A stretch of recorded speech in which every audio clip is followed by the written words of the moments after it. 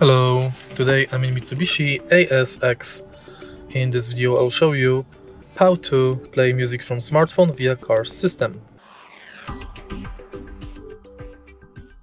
In the beginning make sure that your smartphone is connected with the car and then press the CD button on the radio. Now we've selected Bluetooth audio and Bluetooth is connected. On your smartphone select song you would like to play.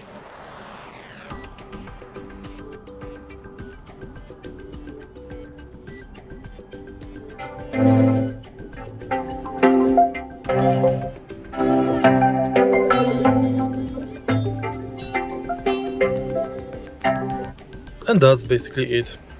If you find this video helpful, please leave like, comment and subscribe.